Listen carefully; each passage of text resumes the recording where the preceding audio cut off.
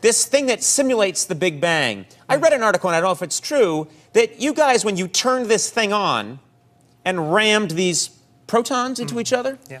you weren't quite certain what was going to happen, and that there was a small possibility that something could go very wrong. True or not true? The, in the technical language, that's bollocks.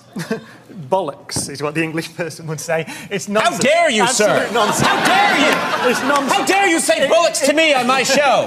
It was, it, it was, it was, as far as I can tell, made up by the press. What it did was make CERN famous. Oh, Um, okay. Because but- I it reading a- about it, was that you guys had built this giant thing. You were going to ram some particles together, and there was a bit of a chance that the, a black hole would form and would all get sucked into it. But you were like, let's see what happens. It was, it was worth it, wasn't it? Yeah, We- it was we- worth it. Okay, so you're saying that's not true. Worth the risk.